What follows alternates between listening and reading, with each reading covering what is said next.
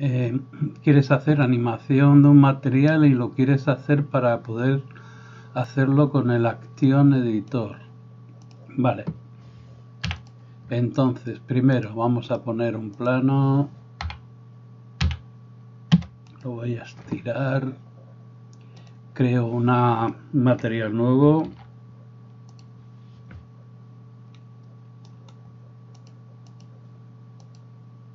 Shader Editor. Voy a ponerle una textura. Eh, water. Vamos a ponerle esta.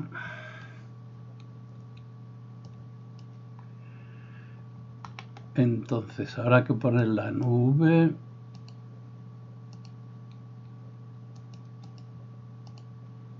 Letra. Vale.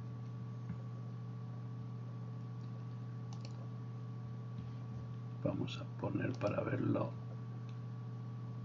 ahora. Muy bien. Esto sería letra U, un rap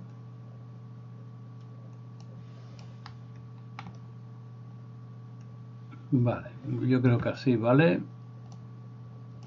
O voy a ponerlo entero. No, tal como estaba está bien. Bien, entonces, una vez tengo la textura puesta, lo que hay que hacer es animarla. Dices que el dopeset, sí, pero que quieres el acción editor. Bien, primero el dopeset. Vamos a por la animación. Para que animar esto, lo que hay que hacer es ir a localización X, coordenada X, para que se mueva para la izquierda. Entonces, frame 1, letra I, añadir un simple keyframe, que lo tenemos aquí, que sería la letra X. Nos vamos al frame 40, por ejemplo, y movemos esto. Para verlo en pantalla. Primero me pongo a cero y luego lo muevo por ejemplo así.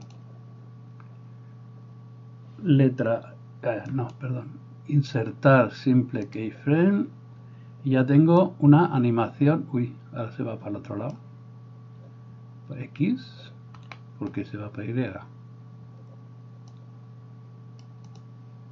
uy ¿qué ha pasado aquí?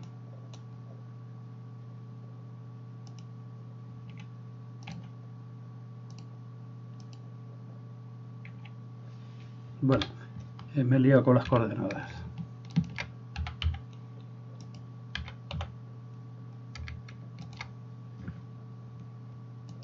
Puede ser que haya desplegado mal el mapa.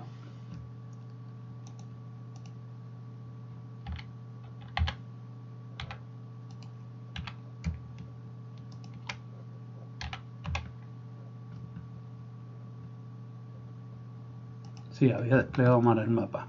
Bueno, no pasa nada. Más o menos para que se entienda.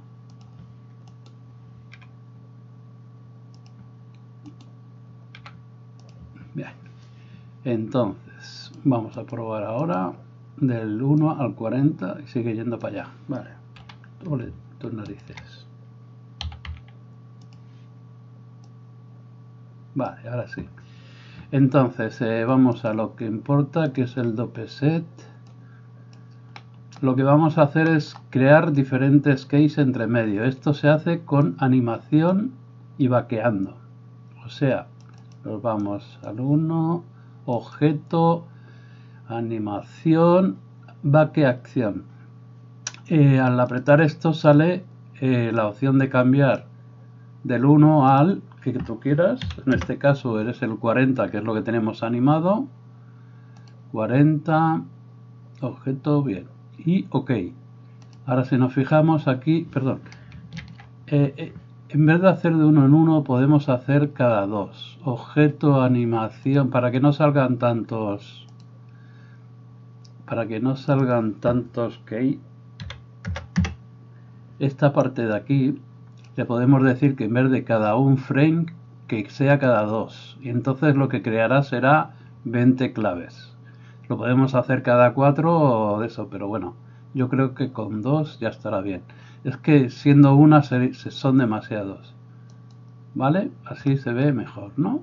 Bien, tenemos la X y tenemos esta animación. Ahora ya podemos cambiar a la acción editor.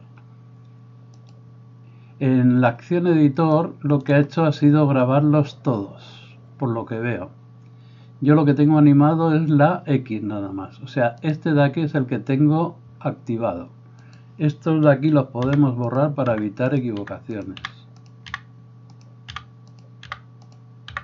Y entonces lo que se hace normalmente es que, como las Bezier tienen un principio de aceleración y un principio de frenada, lo que se hace es ir a el Graph Editor, seleccionamos nuestra curva, que hay que ajustar un poquito, y entonces sería este vértice de aquí, ponerle que lo queremos lineal, y el otro de aquí, mm, espera, que no lo ha seleccionado, ¿dónde está? No lo veo.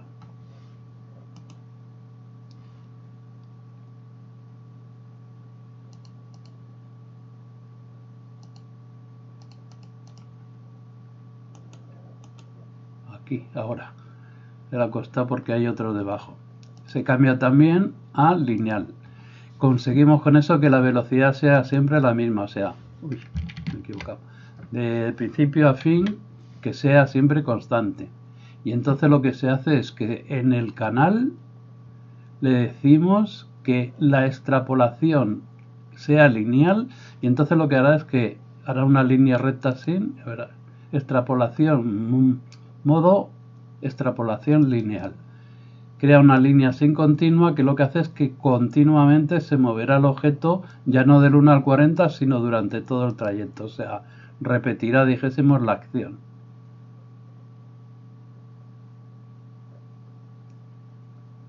¿Vale? Se ha visto el salto del final, pero bueno, esto lo podemos ajustar un poco con la distancia esta de aquí. De 0 a 1 o de 0 a 0 100 el truco está, dijésemos, en hacer la aplicación y hacerle el bake. Una vez le haces el bake, ya tienes todas las opciones que puedes cambiar, desde el dope set a la acción editor o lo que tú quieras. O en este caso, al graph editor. Y como digo, estas curvas, esto de aquí, eh, si te da mucho, te toca mucho las narices, en preferencias creo que se puede cambiar. Esto sería en, a ver si me acuerdo, Filepat, eh, System, Maps, navegación, por aquí anda.